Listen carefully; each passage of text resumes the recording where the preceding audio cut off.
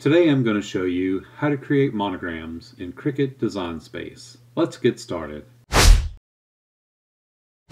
Hey everybody, so today I'm going to show you how to create monograms in Design Space. We're going to use the Monogramos font from DaFont, so if you want to download it and follow along with this tutorial, I'll put a link in the description below. So the first thing we want to do is type out our initials. So we're going to grab our text tool, I'm going to click on the font, click on the search, and I'm going to type in Monogramos.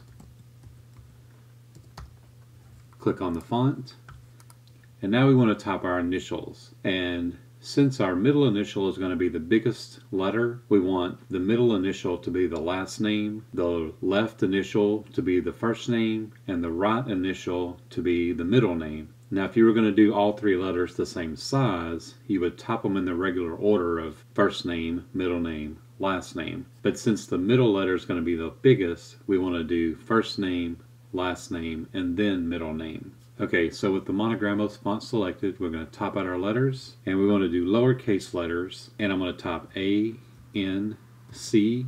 I'm going to blow that up. So A represents the first name, N represents the last name, and C represents the middle name. Now we want to ungroup these, so I'm going to click on Advanced, Ungroup to Letters. I'm going to go ahead and select all these, and I'm going to turn off the cut line, and I'm also going to change the colors of two of these so we can see them a little easier. So I'm going to click on the C, change the color, turn off the cut line. I'm going to click on the N, change the color, turn off the cut line, and then the A. I'm going to turn off the cut line and just change the color on that one too, just so they're all different. Now what we want to do is drag and select all of them. We're going to come up here to align, and we're going to align center and I'm going to blow that up a little bit bigger so we can see it. And you can see they're pretty much lined up, but they're a little bit off. So since the C doesn't have a rounded edge, it's not really lining up right. So I'm going to select all these again. I'm going to do align left, and then I'm going to do align top. So now those are much more lined up than before. So now what we need to do is get rid of all the letters except for one A, one N, and one C. So the way we're going to do that is click on the shape, get a square, I'm going to drag it here, unlock this, and I'm just going to cover up that middle letter like that. I'm going to go ahead and change the color of that. And now what I want to do is make two duplicates of this, duplicate, duplicate, and I'm going to change the color of those two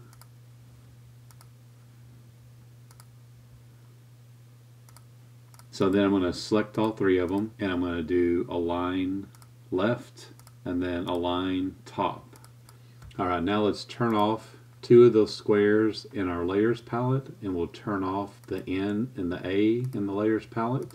So all we have is this one box with the C. Now we want to keep this right C, so I'm going to click the box, click the letter, and I want to slice that. Then I can click here and delete that, delete that, delete that. And I'm left with these two, so I just need to draw another box so I can get rid of this other C.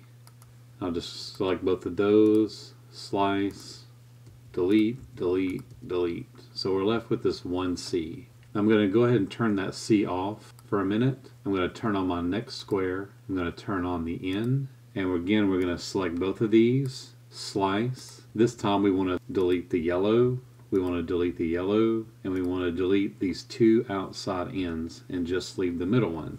Now we'll turn that middle end off and we'll turn on our last box and our last letter. And what we can do with this one is click on the box, unclick the lock, and then just make this wider. But we don't want to move the left edge of the box so that way they'll all line up. But since we're going to delete these two letters, then we'll be okay. So select that whole thing, slice. We'll delete the orange. We'll delete all that, and then we're left with our A. So now we can just go here and turn back on our other two letters, and you'll see that they're all still lined up perfectly because we lined them all up correctly before we started slicing it. And we can select all of those, we can weld those together, and there you have your monogram. So let's do another one. Let's say you have letters like D, C, and I, and you blow those up, let me move this over a little bit more. Blow this up and we'll ungroup the letters. So now what we want to do is change the colors on all these so we can see them. And I'm going to select all those. I'm going to do a line, center, and you can see they're not really lined up because this letter, the blue letter is rounded on the end on this end. It's not rounded on that end. The red letter is rounded on the left but not on the right. And then the I has the middle missing on both pieces. So what we're going to need to do is just line these up manually because there's really no way to line them up using the align tool because if we align them left, they're not going to line up. If we align them right, they're not going to line up. So I'm going to click on the blue one. I'm going to drag it over here. I'm going to click this one and I'm going to line it up here on that left side. You can see it lines up here and here. And then we can click that right one. Another thing is when you click on something, if you hold down shift, it'll drag it in a straight line. So just drag it over there and line that up, line the center eye up, and now they're all pretty much lined up. Can adjust it a little bit if we need to. So that's pretty much lined up and then you can just knock them out like we did a while ago. Okay, so we have our monogram here. I'm going to make a duplicate. I'm going to make a couple of duplicates of that. Just drag them over here. So now we have our monogram. Let's say you want this to have a background with the letters knocked out of it. What you can do is just grab a shape, grab a circle, you can just make that bigger and what we'll do is we'll arrange and we'll send that to the back so it's below our letters. And then we can just line this up. We can make that circle a little bit bigger and then we can just grab both of these and we can do align center. And that lines it up pretty good but like but you can see it's off a little bit here because of that C. So let's click on it hold shift and drag that straight across. Now let's click it again and hold shift and drag this back over. And we'll just have to manually line this up where it looks pretty even on the left and the right side. That looks pretty good right there. So I'm just going to let go of my mouse and let go of the shift key. And then what I can do is grab both of those. I'm going to hit slice and then we can just delete the centers out. And now we have a background with the letters knocked out of it. So let's just say that you had a background color that was pink or something. We'll send that to the back, arrange, send to back. And now you can see the letters are knocked out of that background and we can change that background to whatever color we want it to be so that the substrate behind it, like the t-shirt or your vinyl or something will show through here. Alright, I'm going to make that smaller, put that over there. I'm to delete this square. Another thing we can do with these monograms is use them with clip art images. So if I click on image, I want to click here on filter, free. I'm just going to type in heart. We can grab one of these free hearts. Let's grab these two, insert. And what you could do is just grab your monogram. I'm going to make another duplicate of that. Arrange, send to front.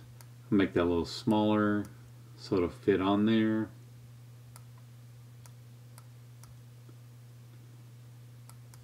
We can select both of those and we'll just align them on the centers. So align center horizontally. That looks a little bit off so I'm just going to scoot it back over. I'm just going to manually drop that in there where it looks pretty even. And then we can just grab both of those slice and then just get rid of those center parts and have that knocked out of the heart. Or let me undo that move this one up here out of the way for a minute. I'm going to grab a copy of this one with the background. We could put that one on there. Center that up. Then we could grab both of those and slice those. And then we could just knock out the purple part so that the heart and the letters are the same color, but we have the knockout around the letters. So that's a couple of different ways you can do that. Could also use this one to do the same thing with that one. Just take your letter, size it the way you want it, put that in there, grab both of those, slice, knock that out, and put your letters in there like that. Another thing you can do is uh, you can use clip art and I've downloaded some anchor designs here. So what I'm going to do is I'm going to click upload, upload image. I'm going to drag that anchor SVG onto here and I'm going to save that. Then I'm going to click on it, insert the image. And now all of these are all stuck together. So I'm just going to ungroup all those. And some of these we don't need. I mean, you could use any of these if you wanted to use this one that has the chevrons in it. You could just blow that up. You could make a circle. You could place that in there where you want the circle to be. Grab both of those, align horizontal, center horizontal. Then we can do is select both of those, weld those together like that. Then we can just grab a copy of our monogram here. We'll just reduce that down to fit in there. Center that up. Grab both of those, slice, then just delete those middles. And there you have it. You have a little monogram with an anchor. And you could use this one that's already done and you can just take your monogram, make a duplicate, size it down, make it fit in there.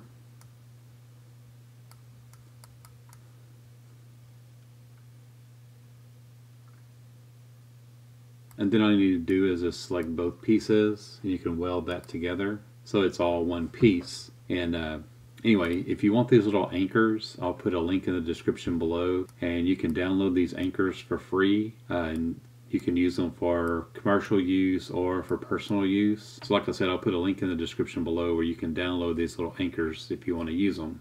Alright, let me move these out of the way.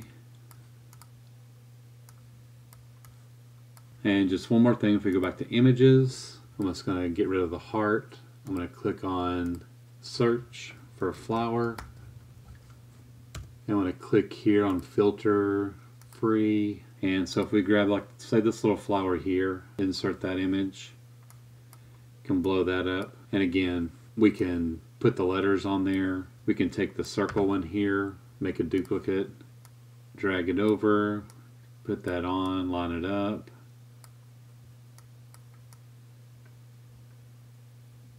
and you can select both of those and you should be able to align those center. And that didn't really line up very good so I'm just going to click and hold shift and drag that down a little bit. Then I'm going to click on it and hold shift and move it left to right a little bit just to line it up. So now we got that pretty much lined up. I'm going to grab both pieces slice. Whoops that didn't work right. Okay so we need to make this a little bit smaller so that it's not touching any of these black lines here. We'll move that over just a little bit. Grab both pieces, slice. There we go, much better. And we'll just delete the purple, delete that green. And then we're just left with the monogram in the middle of the flower. So that's an easy way to make a monogram. That's some easy ways that you can make your monograms fancy. Like I said, you can use any kind of clip art that you want. So you're not just limited to a heart or an anchor or a circle or a flower. You can use, you know, a lot of different kinds of clip art. So I guess that's about it for now. I hope you enjoyed this video and learned something new. If you have any questions or comments, please leave them in the comments section below. If you like this video, please share it with your friends and subscribe to my channel. Also make sure you click the little bell icon and turn on notifications so you'll know when I upload new videos. And if you want to follow me on social media, all the links are in the description below. Thanks again for watching and I'll see you later.